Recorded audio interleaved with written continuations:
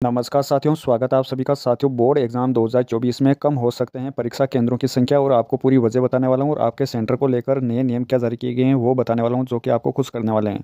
साथियों, कक्षा दसवीं और कक्षा बारहवीं बोर्ड परीक्षा 2024 को लेकर लगातार मैं अपडेट दे रहा हूँ। दो हज़ार चौबीस बोर्ड को लेकर और बोर्ड के सभी पदाधिकारी भी सक्रिय हो चुके हैं।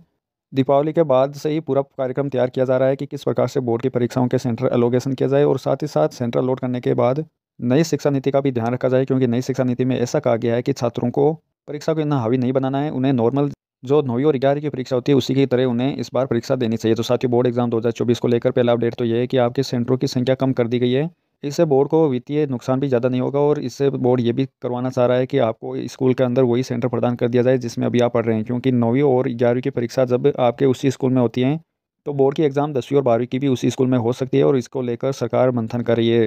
साथियों, आप क्या चाहते हैं? कमेंट ज़रूर करके बताइए, क्या दसवीं और बारहवीं दोनों क्लास की एग्ज़ाम भी नौवीं और ग्यारहवीं की तरह अपनी स्कूल में हो या अन्य स्कूलों में इनकी एग्ज़ाम करवाई जाए, क्योंकि सरकार इस पर मंथन कर रही है?